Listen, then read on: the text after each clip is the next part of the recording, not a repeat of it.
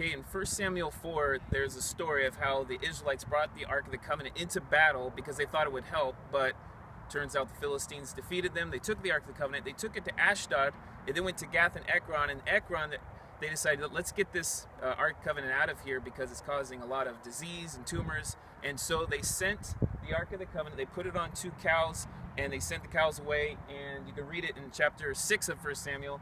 Uh, the cows went on their own. They've never been yoked before, two milk cows. And they came up this direction, up the valley, uh, straight to where the Israelites were encamped. And that way, the Philistines knew, okay, the diseases and the, the hardships we've been encountering were directly from God, uh, punishing us for taking the Ark of the Covenant. But this is Beth Shemesh. This is where the Ark of the Covenant came. The cows brought the Ark of the Covenant back to Israelites right here.